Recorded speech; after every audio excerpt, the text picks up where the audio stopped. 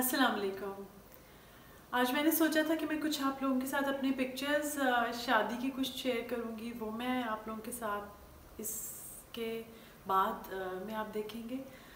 और मैंने आपको बताना था, ये जो दोनों मेरे ड्रेसेस हैं, जो मैंने शादी पे पहने रेड कलर का वेलवेट का था, बहुत लंबी फ्लेड एक शर्ट थी, और इसके दुपट्टे पे बिल्कुल भरा हुआ काम था। ये उस वक्त इतनी साल पहले मैंने, जैसे बताया थर्टी इयर्स बैक भी जो मेरी शादी के कपड़े थे, वो एक लाहौर में डिज़ाइनर थी जो मुझे बहुत पसंद थी और बाजी रुबीना वगैरह जो मेरी कज़न्स हैं, उन लोगों के रेफरेंस से उन्होंने हमें बताई थी शबाना ने और बाजी ने। लाहौर में दूधी थी, उसने बहुत सारे कपड़े मेरी शादी के बनाए थे और बाकी के कपड़े मेरे इस्लामाबाद में ही मेरी शादी हुई थी, इधर से बने थे। तो जो लोग ये कहते हैं कि शादी के कपड़े पहने नहीं जाते तो मैंने अपना शादी वाला लहंगा डिफरेंट शर्ट्स और डिफरेंट तरीक़ों से अपनी चारों बहनों की ऑलमोस्ट शादियों पे पहना है। शर्ट्स डिफरेंट किसी कभी लंबी बना ली, कभी छोटी, कुछ ना कुछ किया था। और बहुत दफ़ा जो भी कोई फ़ंक्शंस वगैरह और भी होते थे, कभी कभार तो मैंने बहुत पहने अपने कपड़े।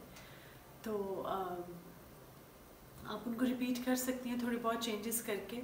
क्योंकि दुल्हन दुल्हन ही लगती है दुल्हन की तरह कोई और नहीं लग सकता इसलिए आप अपने कपड़े दोबारा रिपीट आराम से कर सकते हैं।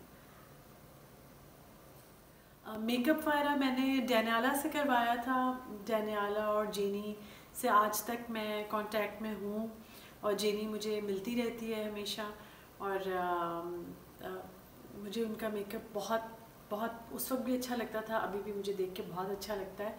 सिर्फ़ जो पिक्चर्स है मेरी उसमें मैंने वीडियो में देखा है कि वो जो मेरे आई शेड्स वगैरह हैं, वो थोड़ा चेंज आते हैं और वो कुछ रेड लग रहा होता है, लेकिन वो टोटली उसने गोल्डन और ब्राउन टाइप मेकअप आँखों का किया था डैनियाला ने। तो मुझे मुझे याद है कि मेरा बहुत अच्छा एक्सपीरियंस उनके साथ भी रहा था। नेक्स्ट मंथ खदीजा की इंशाल्लाह फ़र्स्ट वेडिंग एनिवर्सरी होगी तो मैं आपके साथ उसकी भी वीडियोस और क्लिप्स वगैरह शेयर करूँगी।